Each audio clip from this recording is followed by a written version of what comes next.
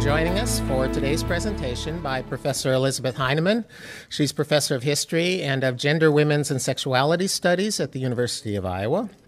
She'll be speaking to us today on Europe's radical right. So I'm Bill Reisinger, a member of the board of directors of the ICFRC, and I'll be host for today's program. Uh, I want to start out by thanking our members, volunteers, and interns for their ongoing efforts, uh, without which we couldn't have these forums. And also on behalf of ICFRC, I thank our university and community supporters, the University of Iowa's Honors Program, the U of I Public Policy Center, international programs, as well as the Stanley U of I Foundation Support Organization for their financial support. Uh, we are also very grateful to today's special sponsors, Alan Swanson, Blank and McCune Realty, and Maureen Braddock. Okay, uh, let me uh, now turn to introducing our speaker. Uh, Professor Heineman has been at the University of Iowa since 1999. She teaches courses on Germany, Europe, gender, and human rights. Her study of gender issues in the German and broader European context give her a distinct and valuable perspective on far right ideology and organizing. Uh, she has spent substantial time, uh, five or more years, uh, doing fieldwork in Germany and other parts of Europe. Uh, she received her PhD from the University of North Carolina at Chapel Hill in 1993. She is the 2010 recipient of the AICGS DAAD Prize for Distinguished Scholarship in German and European Studies and the two, 2011 recipient of the New Millennium Writing Award in Nonfiction. So uh, please join me in welcoming Elizabeth Heineman.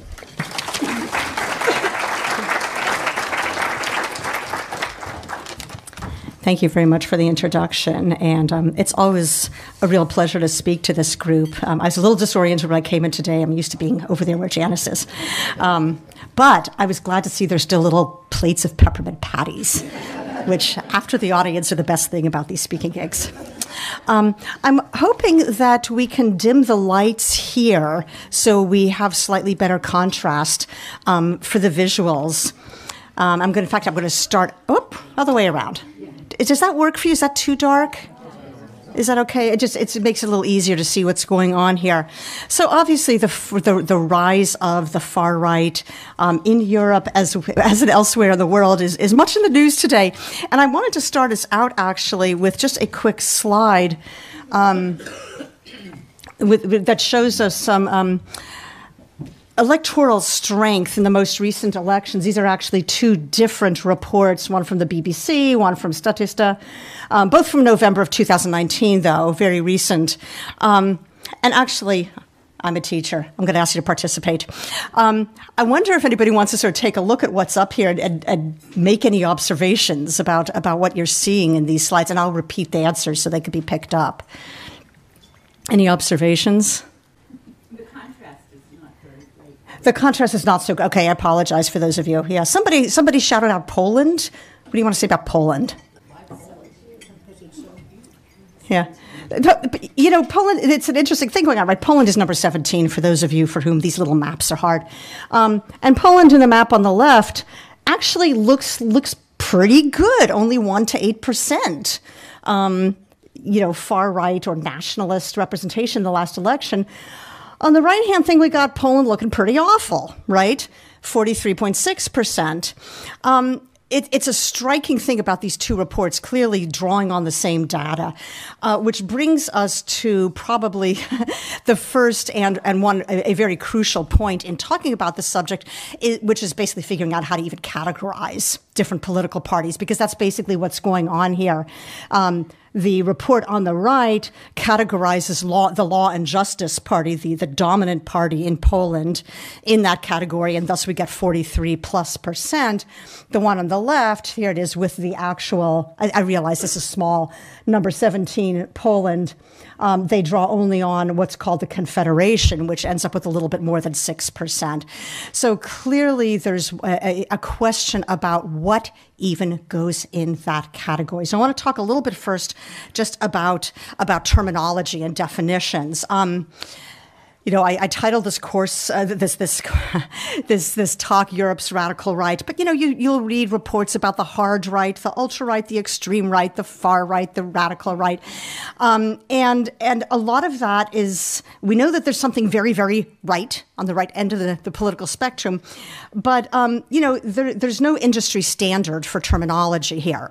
Um, a lot of it is just very vernacular. Something seems extreme, so we call it extreme. And what does extreme mean? Maybe it means they're willing to use violence. Maybe they means they use fascist symbols. Or what does it mean exactly? Maybe it means the actual programs are extreme by some measure. Um, so, so the reality is there's a lot of sort of you know people people use these terms. Um, various sort of social scientists and um, have sort of do, di- dived in and tried to to give slightly more precise definitions. Their definitions are basically for the purpose of the essay for the purpose of this book, but again, there's not an industry standard here.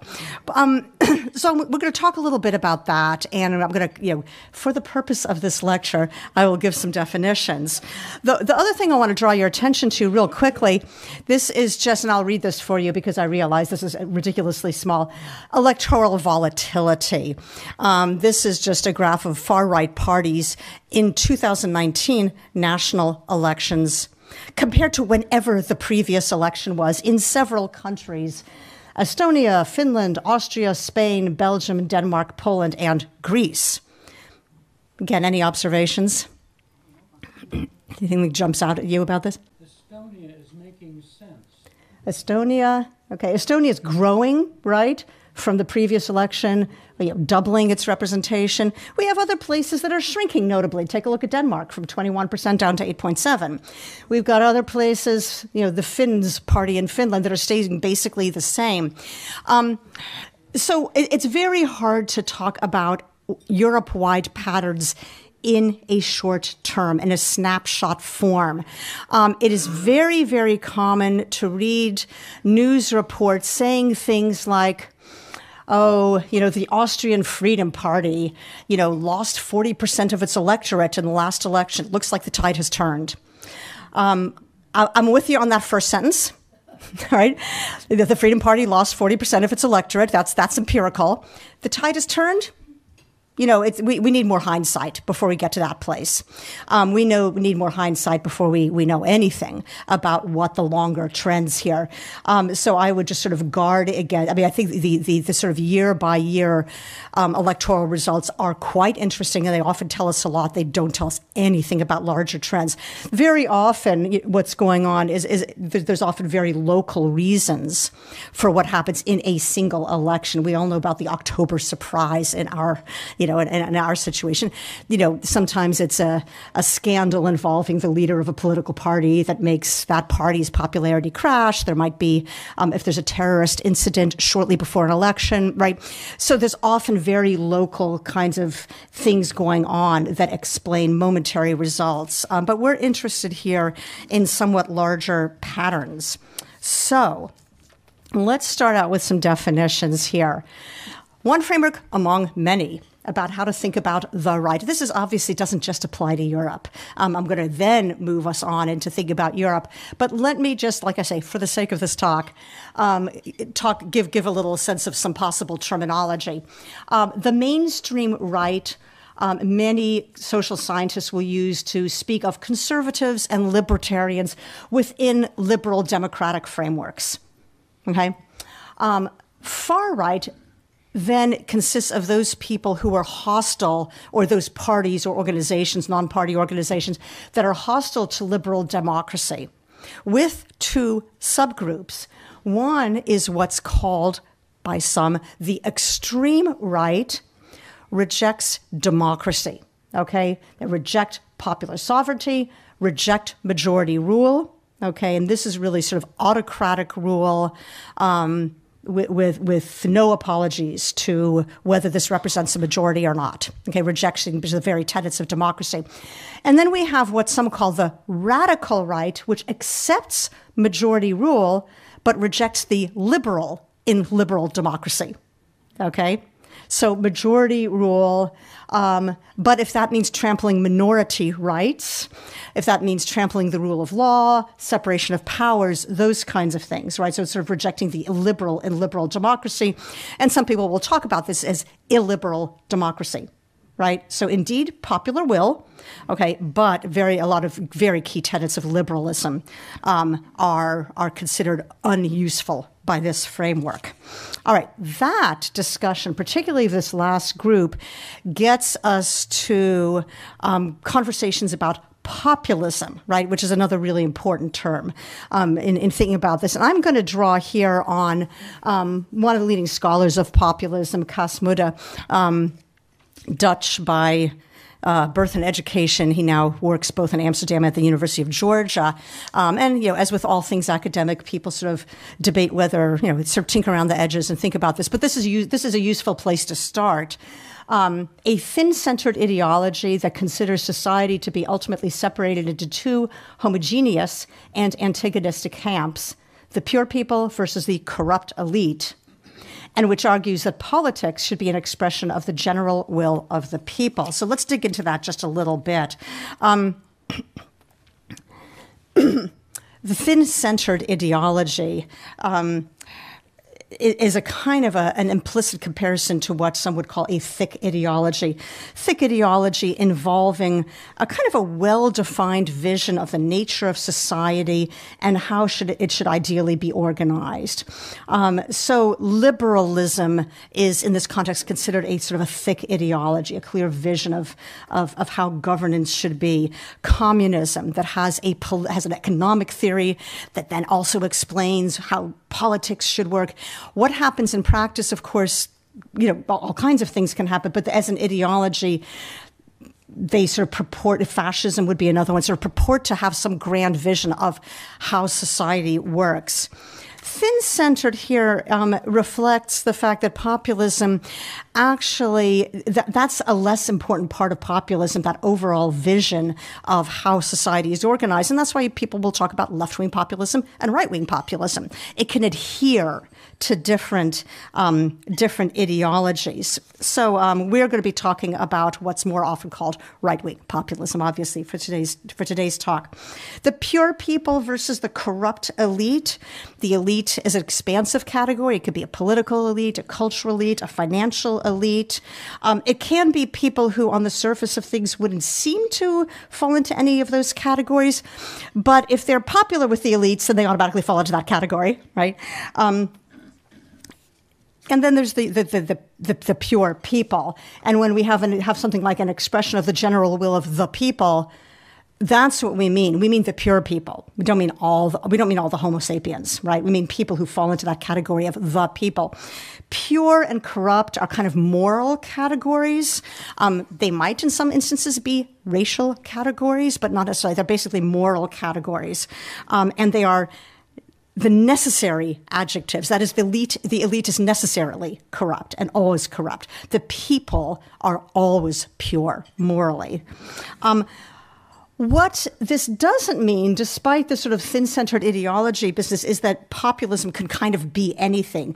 It is fundamentally in opposition to, first of all, elitism, right, which shares the kind of division of the world into corrupt and elite, um, but favors the elite, right? The elite should rightly rule. Um, the the common people are, um, you know, the, the, are are un, unfit to self govern. Right, so there's a, still the kind of elite um, common split, but elitism is not really compatible with populism.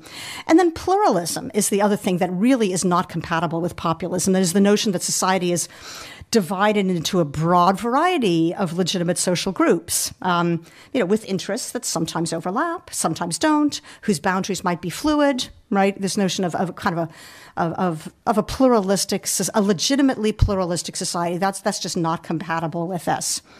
Um, in terms of thinking about a sort of a populist radical right or the notion of an illiberal democracy or what you know what here is is described as the radical right. That's really what we're going to be mainly focusing on here.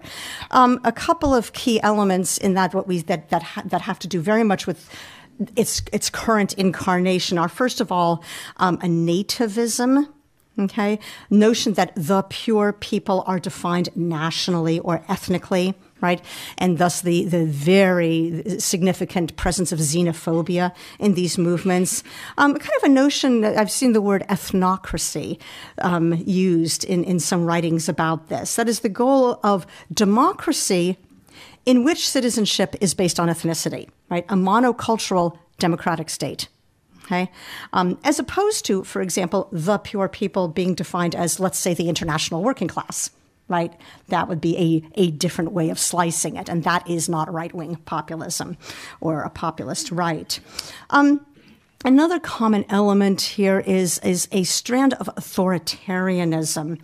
Um, by which I don't mean an, an authoritarian leader, um, more the sort of social psycholo- psychological use of the term authoritarian. Um, that is a, a belief in strictly ordered society. So clear generational hierarchies, clear gender roles, clear sexual norms. Okay, um, and and a clearly ordered society that's maintained by a a fairly disciplinarian education, socialization to respect authority and know one's place. Um, a world in which infringements on authority are, are punished severely, the deviation is not, um, not really possible, and a tendency to define problems, all problems, as law and order problems, lack of discipline, okay? A, a kind of an, rather than, let's say, diagnosing some problems as having to do with distribution of resources or other problems as maybe related to addiction, right? Um, a number of ways to analyze social problems, and the sort of authoritarian, authoritarian tendency tends to focus on sort of law and order. Okay, let's go back now to talk about what I really want to. Let's get to Europe finally. Um, We'll go back to that map. We're not going to worry too much about the particular electoral results here. I just want to have a map in front of you because it might be useful for some of you to see a map. What I want to talk about a little bit is both common threads across Europe in the present moment and some regional distinctions. And I'm going to start actually with regional distinction. Of course, what we've seen is just a definition that gives you a sense of some of those common threads. And we're going to come back to later on what that means in the European context. But it is important to re- recognize, of course, that Europe actually has a collection of very diverse histories, very diverse, you know, economies and, and places, you know, whether they're looking westward, eastward, southward, you know, there's, there's a lot of things going on to create kind of regions in Europe. That means that radical right movements have slightly different emphases and flavors in different regions. So let me start by talking about um, the former sort of Atlantic colonial metropoles. Um, right, the Atlantic coastline, sort of think about the other big colonial powers. I'm going to leave Spain out for now. That's a slightly different thing, but really thinking especially about, say, France and the Netherlands. Um, these are the places that, first of all, do have the longest history of liberal democracy right? So thinking about the tensions between radical right and liberal democracy is going to be different there than, let's say, a place like Eastern Europe, right? Um, they also have the longer history of immigration from the former colonies. Right, really starting just in a couple of decades, you know, really in some cases interwar, but especially after the Second World War. Um, nativist populism here importantly, often adheres to a liberal language because of the, the, the, sort of sense that, you know, of liberalism as part of their heritage, especially around issues of gender and sexuality, right? The notion of, we, as, you know, the West, the liberal West, protecting the rights of women, protecting the rights of sexual minorities against purported Islamization right? That's a language we see very much in places like the Netherlands and France. Um, now, this longer history of post colonial immigration. You sort of hear that discussed in two ways. One is a kind of a flattering portrayal or self portrayal that despite all of their flaws, white West Europeans have had gained some experience living in multicultural societies, and so they handle it better than East Europeans, right? So there's a little, you know, the West is better at this stuff. Um, you saw a lot of this kind of language around the time of the reunification of Germany, right? This is obviously not an Atlantic empire, but where you had um, you know, a lot of racist attacks in the former Eastern Germany and West Germans saying, we don't do that stuff, right? Um, a less flattering portrayal is that the Western, you know, European states haven't done the best job at integrating and welcoming um, post-colonial immigrants, um, and that the radical right actually has been a force in these places, certainly since the 1980s, with Jean-Marie Le Pen and the National Front in France, or with Geert Wilders, um, the Party for Freedom in the Netherlands. Um, so, so there has been this kind of, you know, really xenophobic language and political presence for a longer time in, in, in the places where there's been a significant immigrant presence, uh, particularly a non white or Muslim presence. Having said that, there was a kind of a sense in that early sort of 80s, 90s that that was outside the realm of polite political discourse. Those, those, those factors are there, the National Front in France, for example, but they're not going to be part of the parliament. Okay, that is an, a, a, an egregious minority opinion, you know, like I say, sort of outside polite society. Um, today, obviously, there's a little bit of humble pie going on in Western Europe with the sort of mainstreaming of the radical right, right? So, um, you know, like I say, the earlier radical right, if you think about Jean-Marie Le Pen in the 1980s, um, met with massive protests, right? And uh, 2002 election where he you know, got about 16% or 18, 16 or percent. Um, you know, alarm went off and there was a runoff election because that's how they do it in France. And, um, there was tremendous mobilization. Rates of voter participation went way up to make sure that that he did not do well, um, and you know his, his share declined in the in the second round. Now you have you know the National Fronts in Parliament and his daughter Marine Le Pen. Um, so had a little replay of that situation in 2017, where she did very well in the first round. There was a runoff, um, and there was great relief when she got only 34% in the runoff. At least she didn't win. Okay, very different kind of tenor than what had happened a couple of, of decades earlier. All right. Let's turn now to a pattern or uh, of the sort of former fascist or proto-fascist states and here I'm going to focus on Germany and Spain in particular. Of course, there's a lot of overlap, right? Spain's also a former Atlantic Empire. Anyway, but still, we're going to do a, a vague type typology here. West Germany, of course, is a, a really important case. Um, very early and enthusiastic embrace of internationalism, um, enthusiastic backing of the European project um, as kind of a check to their, you know, the sort of a sense that you know, there's value in checking our own worst tendencies, right? We really need to be integrated. Nationalism is a terribly, terribly dangerous thing. Right wing radicalism is a terribly dangerous thing. We need to embrace nationalism. So, of course, West Germany's very much involved with the European project. Um, in Spain, of course, Franco dies only in 1975. So we have many more people alive with living memories of, of his brand of sort of proto-fascism, clerico-fascism, fascism, whatever you want to call it.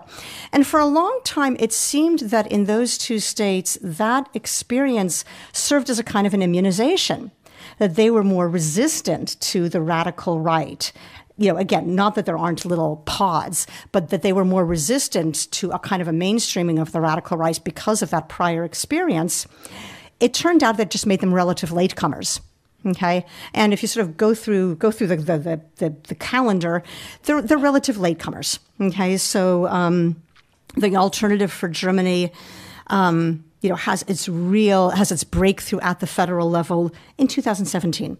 Okay, it came later than in some other places, but it did come. Okay, Spain's um, party that that sort of tends to fit best in this category is Vox, founded in 2013. It made it into the national parliament last year, right? So the immunization thing held for a while. Okay. Nordic states, okay, they actually turn out pretty dark green. Oh, these, the contrast really is not good here. Um, but they, they turn out in the second to highest category in this particular map. Again, taking with a grain of salt because we don't always know how to categorize particular parties.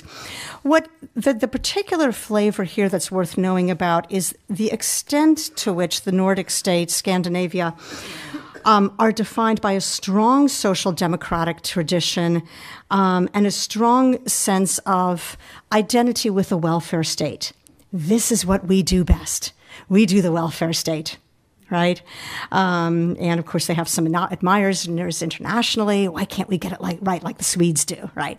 Um, Well, and you know, and of course, and sometimes in those conversations about how is it the Scandinavians manage this and other states don't, one element that sometimes comes up was, well, maybe that sort of things works better in a more homogeneous society, right?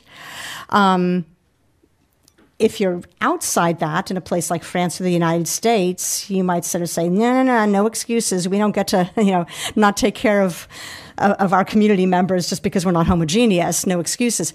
Having said that, what's happening in the Nordic states would suggest that there might be, you know, there's something to that. Um, not only do we have this turn now in Sweden, you, some of you may know this, that with the, the 2015 wave of refugees and immigrants um, from Syria and Afghanistan in particular, um, in terms of per, you know, per capita, uh, Sweden took in the most. Okay. Um, still, in terms of the overall population, more homogeneous than, than, than most states further south. Having said that, there's a sense of tremendous change and rapid change. Xenophobia in Scandinavian states is very often framed as um, or described as a kind of a welfare chauvinism, right, or a welfare nationalism, with a real, real sort of underscoring of this notion that yes, we're a welfare state, our responsibility is to our community, of course, in fact, defined ethnically. This is obviously a phenomenon we see elsewhere as well, right? Who's the deserving poor? Who's the undeserving poor? But it's important to understand the, the you know the, the balance tips a little bit, right? And in Scandinavia, this notion of kind of welfare chauvinism is more central than, say, languages connecting to liberalism in light of post-colonial immigration, right? Which is not really part of their history in the same way. The Southern Rim states. Um, the poorer states of Western Europe, right? What's sometimes described as the pigs state Portugal, Italy, Greece, and Spain, right? Um, what's important here is the relative poverty and the 2008 financial crisis in particular, right? And the very alarming situation, both from the outside and the inside of Greece with a financial crisis, um, the fiscal crisis, the possible collapse of currency, threats that the euro might not hold at all, um, having the, the, debates about whether the EU can simply impose very severe austerity measures in order you know, to, for Greece to have permission to stick um, with the European currency. And of course, in light of that, other states that were really teetering with the 2008 financial crisis, and that is especially the southern rim, had reason for alarm, although it never really quite got there. Um, the level of austerity and unemployment is an enormously important factor here. And so here you start, especially to have this kind of wave of anti EU sentiment in that context. Who are those bullies to the north who are telling us, you know, to slash our, our retirement pensions, right? Um, so the, the anti-EU sentiment, the sense that the more, the wealthier, the more, the richer states further north are imposing austerity on the South and, and the, the sort of feeling of threat means that this anti-EU stuff in the financial context is very, very important in the early, early waves of this language. Now, given their geography, this also, the southern rim here on the Mediterranean, is also going to be the first point of entry for a lot of immigrants and refugees right? Um, so, so there, there, then there's a kind of a layering, uh, especially with 2015, um, of of layering of anti-immigrant, and of course it existed before. But here I want to really emphasize that the EU and the financial crisis are very important in how they initially enter this this world, how it becomes sort of mainstream. And then there's Eastern Europe. Okay, I have a lot of notes on Eastern Europe. Um, Eastern Europe, there the the multiple layerings of history all have their impact. Prior to the Second World War, Eastern and East Central Europe and Southeastern Europe were the most multicultural parts of Europe, right? Least homogeneous compared to, let's say, a place like France or the Netherlands. Um, they're ethnically, religiously, linguistically very diverse, even within individual countries, never mind across the region. This experience is not remembered fondly okay, and realize there's many layers of this. There's kind of movements for you know, national autonomy prior to the First World War against the Austro-Hungarian Empire or the Russian Empire. There's the interwar period where you have newly independent states and the League of Nations is watching to see how they deal with minority rights. Then you have the Nazis and the Soviets, right? You know, let's start with the Nazis, right? So you have this, and, and, and then you, through enormous violence, both with the Nazi occupation and then with the Soviet reorganization of populations, an enormously violent process of ethnic homogenization. Okay, so Poland, for example, pre-war Poland is about two-thirds ethnically Poland, Polish. Okay, today's Poland is about 99% ethnically Polish. Okay, really a radical change. And like I say, despite the violence of that process, the intercultural, the multicultural past is not remembered fondly. It was remembered, it's remembered as a, a source of trouble and something that then did lead to this tremendous violence.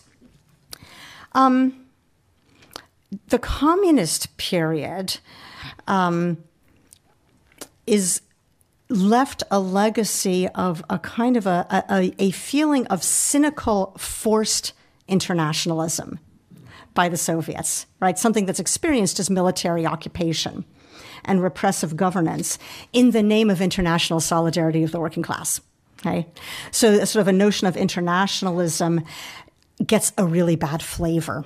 Um, for East Europeans during this period and sort of moments of his heroic resistance, Hungary in 56 and Prague in 68, um, are very much movements for national sovereignty right? Certainly as much as any particular, you know, economic program. They're very much movements for national sovereignty. Um, so compare that, the sort of notion of what they're coming out of and the notion of national resistance to occupation. Compare that to the German experience of wanting to embrace internationalism right? And you know, nationalism has a very bad name. In Hungary and Czechoslovakia and Poland, nationalism has a really good name because you know first you had to overthrow the Austro-Hungarian, the Habsburg monarchs, and then you had to get rid of the Nazis, and then you have to overthrow the Soviets, right? Nationalism is the language of liberation. Okay. Post communist, of course, there's an immense yearning to join Europe. It's more prosperous. Freedom of movement is enormously attractive. People want to be able to move around.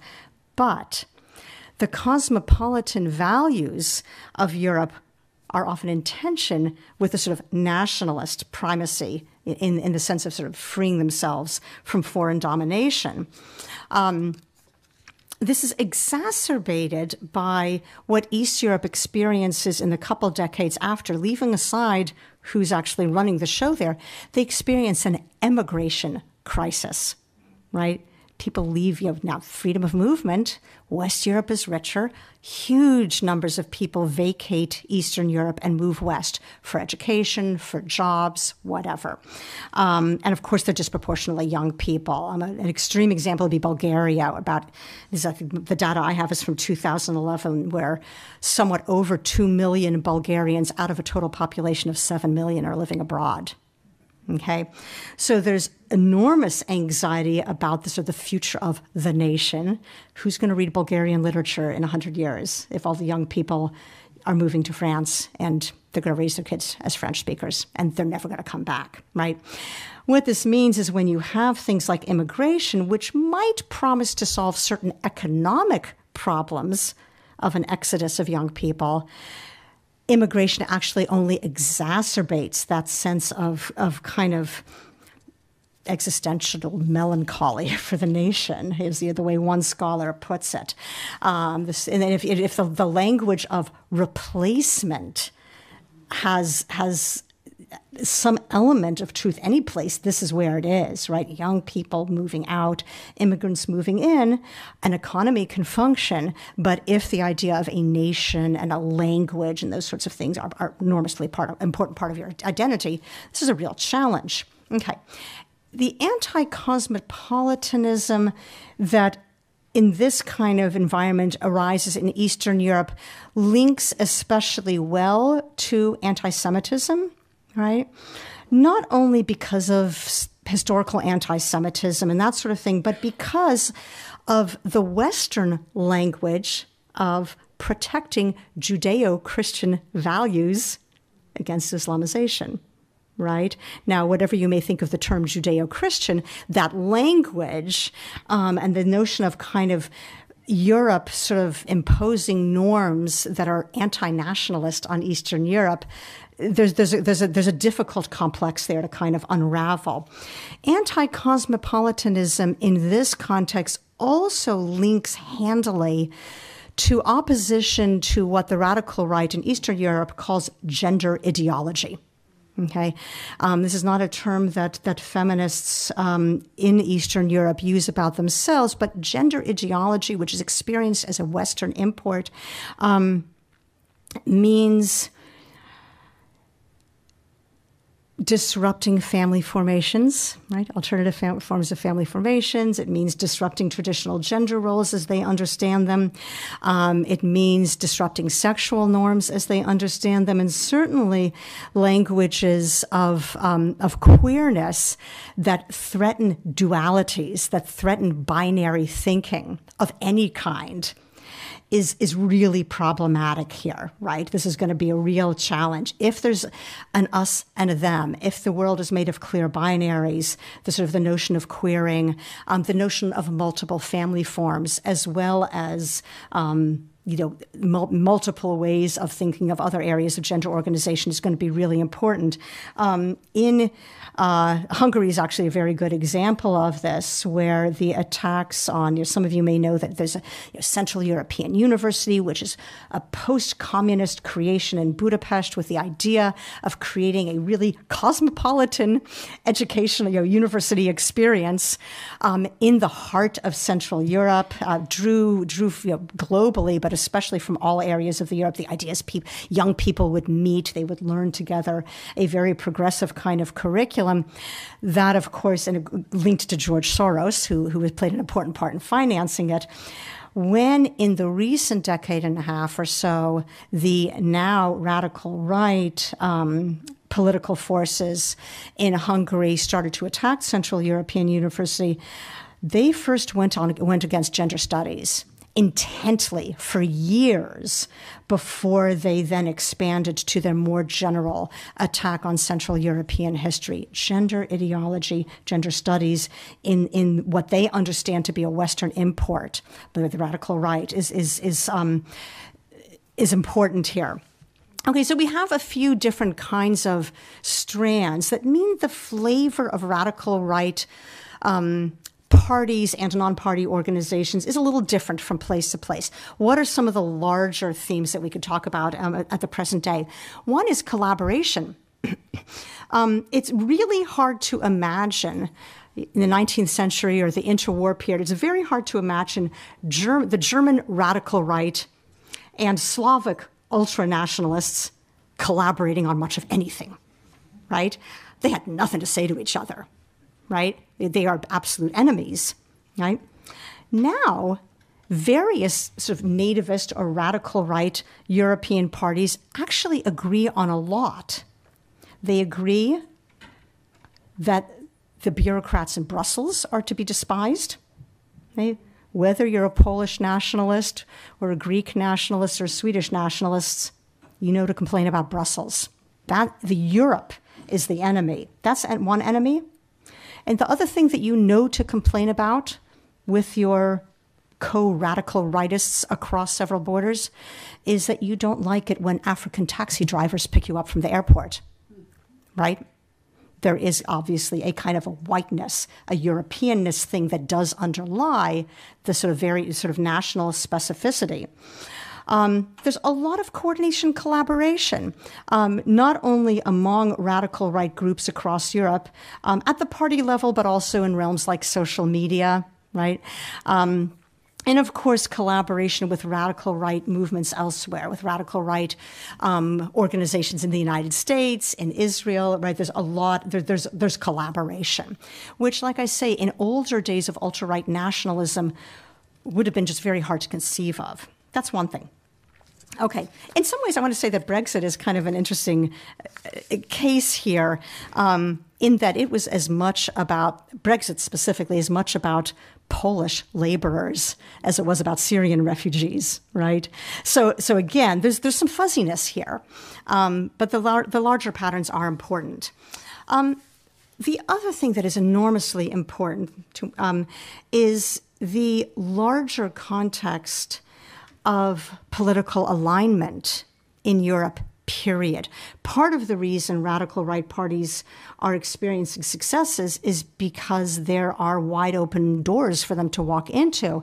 Um, the complete free fall of social democracy, of social democratic parties, or in Britain, Labour across Europe, is is I mean this is an absolutely consistent thing, and you know they're each different countries. They each go from 1998 to 2018, but a 20 year period you know, like I say, social democratic parties are really in free fall across Europe. Um, that obviously creates an opening. Um, the center right parties, um, so, you know, the Tories, Germany's Christian Democratic Union, so there's the traditional center right parties are increasingly hanging on by absorbing elements of the radical right, right? So, a big picture we see here is first of all, what had been several decades, and here I'm really talking about Western Europe. Eastern Europe, of course, single party system for all intents and purposes until the 1990s. And they are, with the fall of communism, automatically going to have lots of parties trying to get a foothold. But especially in Western Europe, for several decades after the Second World War, you had a small number two, three, maybe four kind of legacy parties that jockeyed for position. Okay, what you have over the last, and then you know, the, uh, when the Greens start to make a, an appearance in the 1980s, it's an extraordinary moment. It happens once a generation that a new political movement really makes it into the political mainstream. Now, what you have is a constant creation of new parties falling apart, mergers, renamings, rebrandings. From one election to the other, whole new parties show up on the ballot. Okay, enormous instability. Um, the mainstreaming is uh, the, the, the, language of mainstreaming is, I think, the, the thing I want to finish up with today. Um, the conversation that um, that is really important now about how to understand what seems to be a mainstreaming of the radical right goes in two directions. Um, and this, again, is one of the kind of common patterns. On the one hand, political parties and political figures that formerly would have been basically kept at completely at arm's length, right? Um, they are not, like I say, not fit for polite company right? Not fit for participation in parliament, not fit for participation in the political scene. Fringe, what formerly would have been parties that would have been fringe are now in parliaments and sometimes head of state.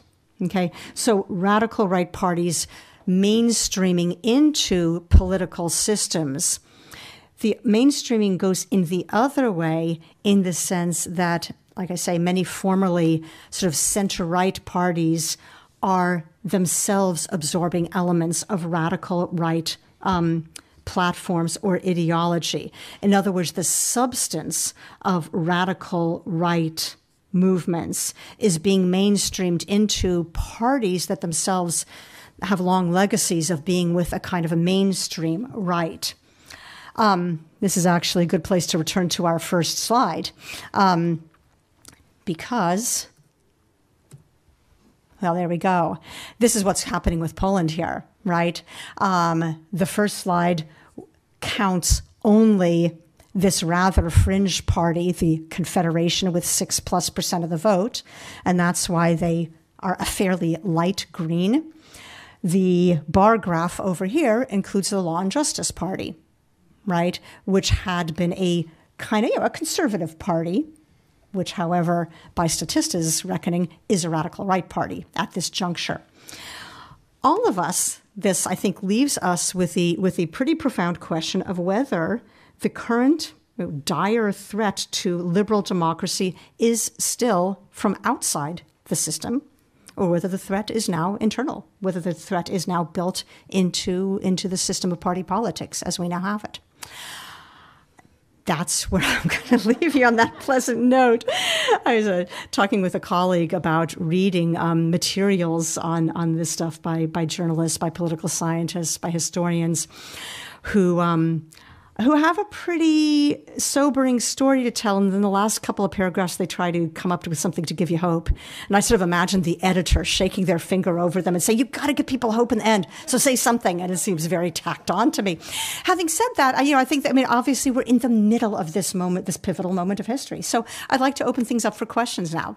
Thanks very much for sticking with me.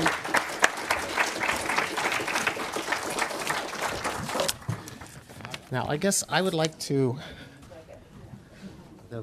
I would like to uh, use my prerogative as host and ask uh, a kickoff question. So, um, uh, Lisa, you talked about the changing uh, popular vote uh, structure and presumably people's uh, receptiveness to the far right parties has has changed over time, and that accounts for the voting results and other things you showed.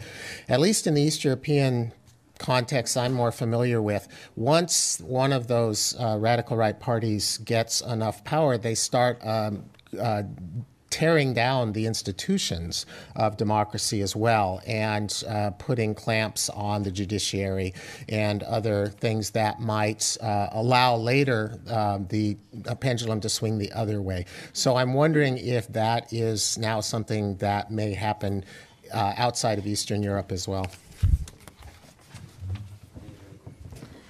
Yeah, that would have been the one way it could have made things yet more bleak. Talk about what happens once these people get into power. Um, but yes, indeed. And right now, sort of Hungary and Poland are kind of the poster children for this story. Um, in that, you know, basically both. Um, I'm gonna, I'm gonna, I'm gonna work with the bar graph here, not the map. Um, but both, um, you know, in the governments in the hands of um, of parties and individuals who are basically on the radical right, basically sort of opposed to, you know, the liberal in liberal democracy, right? They certainly can claim to represent the people as they define them, and they have you know popular support, although often not technically majority support never mind technically, but be that as it may, you know, in coalition systems and parliamentary systems and systems of charismatic um, leaders, you know, running parties. Um, what happens once um, once radical right organizations have an opportunity to govern is they do tend to start dismantling um, the the machinery of government that that you know one of the as one of the features of sort of liberal machinery of government is that it allows for self correction in a way, right? If you have an independent judiciary, certain things can happen. If you have um, an independent media, certain things can happen. If you have fair and open elections, certain things can happen. Okay. If you start to chip away at that stuff, then yeah, you start to move towards you, you can't you can't get people or parties out of office. Um, a question about and, and, this this is what we've been seeing in both Hungary and Poland. Basically, changes in the nature of the judiciary. So the judiciary simply is no longer independent. Media is no longer independent. You know, and then it does become very hard to dislodge um, radical right parties in power. Well, how about elsewhere? I think that that. Um, the an intermediate step when we talk about um, mainstreaming, let's say in, in Western Europe, and here I'm going to conclude Germany in Western Europe. Um, we talk about mainstreaming of radical right ideas, let's say being absorbed into the uh, the the kind of mainstream conservative, the mainstream right, right? So the Christian Democratic Union, for example, in Germany, um, or you know, those kinds of parties, um, Tories, right? Um, what that tends to often mean before we get to Poland and Hungary is other elements of the liberal in liberal democracy being chipped away at. That is not yet fundamentally changing structures of government like an independent judiciary, but chipping away of things that are related to um, rights of minorities, for example, right? Minority rights are a critical element of the liberal in liberal democracy, right? That's why the Jim Crow South might have been democratic, but it certainly was not a liberal democracy. Yeah, you might have an, a, a, you might have a simple you might have a majority that totally approves of completely disenfranchising a chunk of the population. Well, it's democracy, I guess. It's not liberal democracy, right?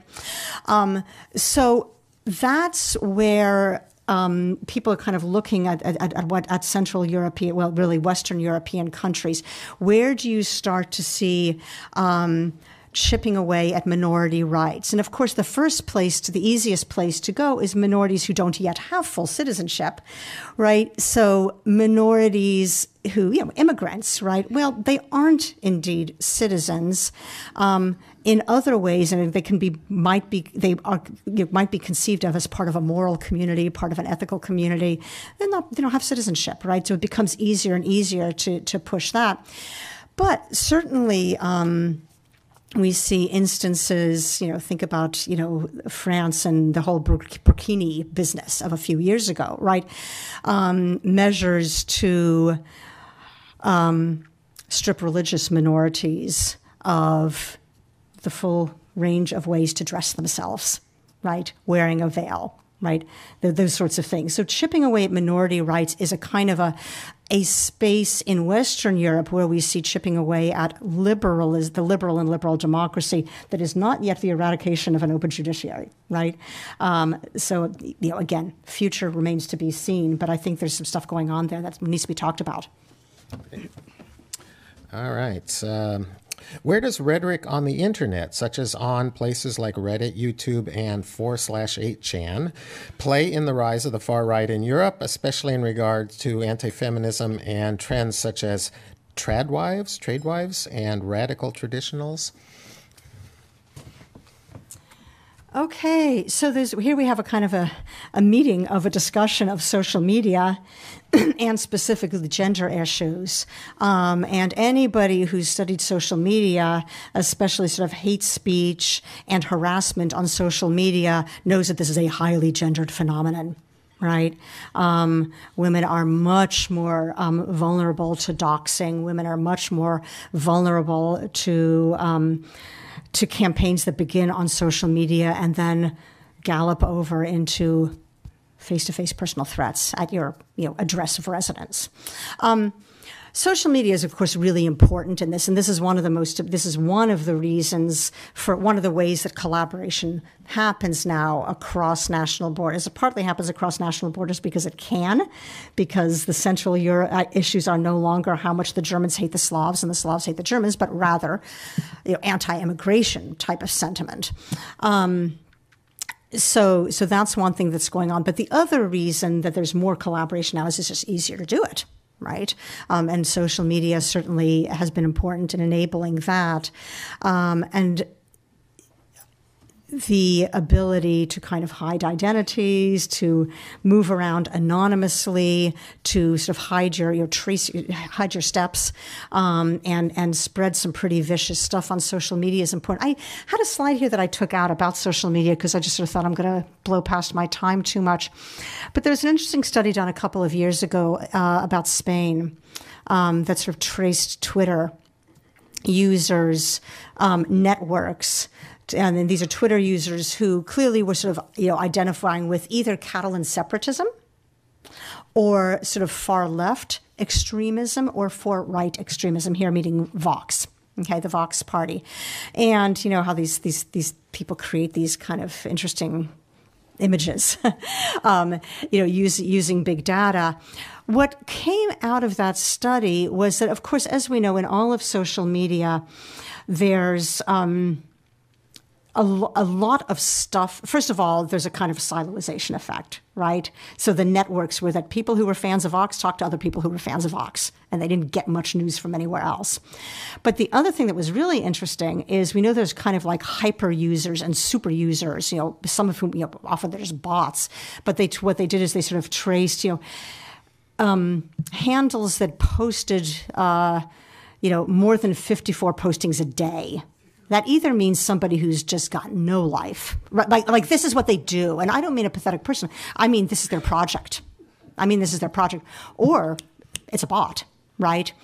Um, and of course, those those that means a relatively small number of people have much greater influence because their stuff goes out, and then of course it gets retweeted and so on and so forth.